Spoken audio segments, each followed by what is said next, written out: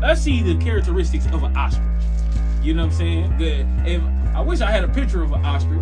They had the big long eyelashes. Yep, the big I wish I could pull back up us The big dripping honey. Put her right next to the picture of the ostrich. Right. And so we can the see big the, similarities. Yeah, the, The big, the eyelashes. the, uh, the BBL. huge beak. Yeah, the ostrich got the huge, huge BBL, skinny legs, Ain't no hair. and no hair on his head. That's what the see. Read what you got. Job chapter 39 and verse 13. gonna read the 18. Gavest thou the goodly wings unto the peacocks, Read. or wings and feathers unto the ostrich, Uh huh. which leaveth her eggs in the earth? God says the ostrich will bury its eggs in the earth. Just as the black women, then when they drop their kids off at daycare, they drop their kids off at mama house 'cause so they can go to the club.